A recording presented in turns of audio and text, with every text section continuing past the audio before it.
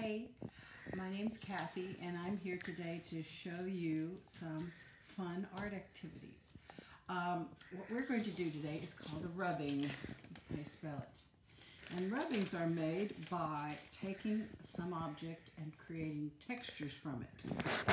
Um, in this case, I've just got this beautiful Japanese fern. I'm placing it backside up onto a piece of paper.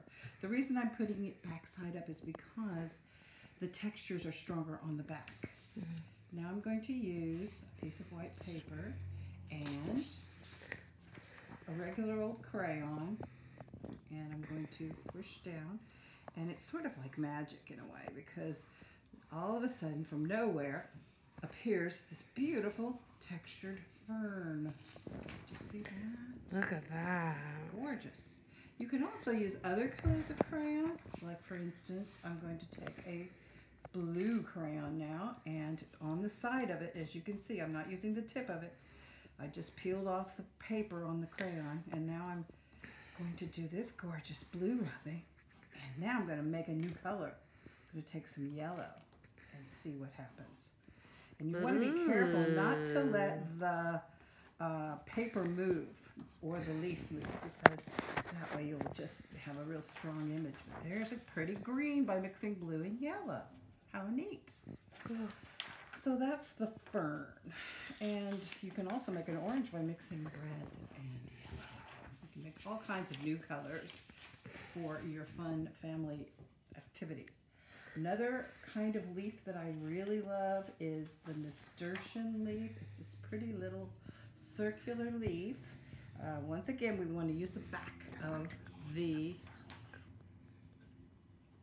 back of You can find these leaf. leaves at like the park or in your backyard. In your backyard.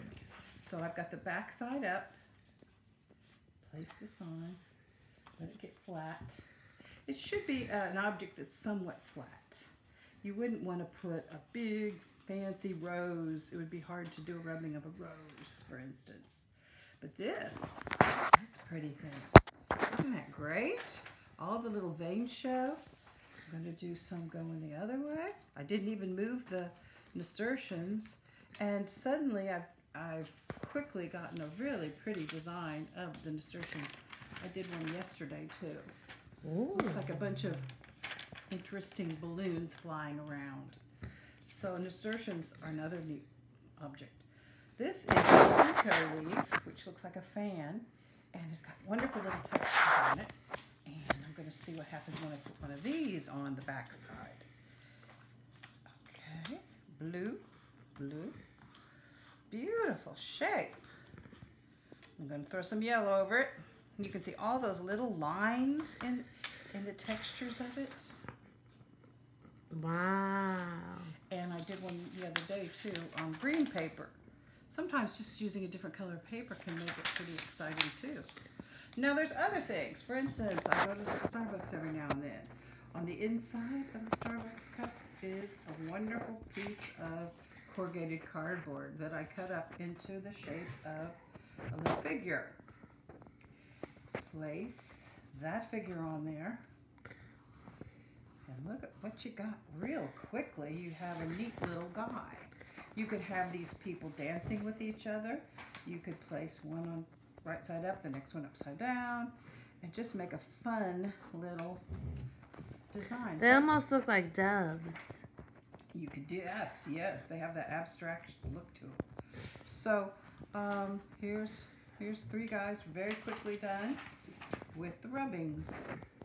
And this was one that was done, looks like they're staying alive.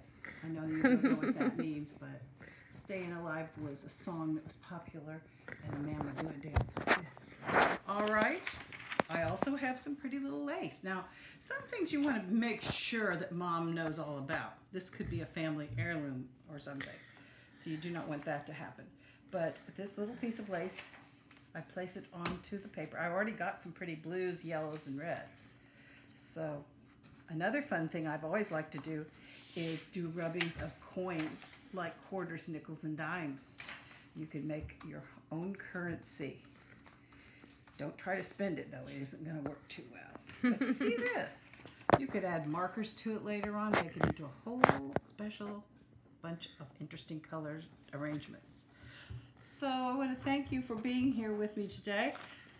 Use your imagination, use different kinds of paper, use different kinds of objects that you find around, and have fun. Thank you for joining me.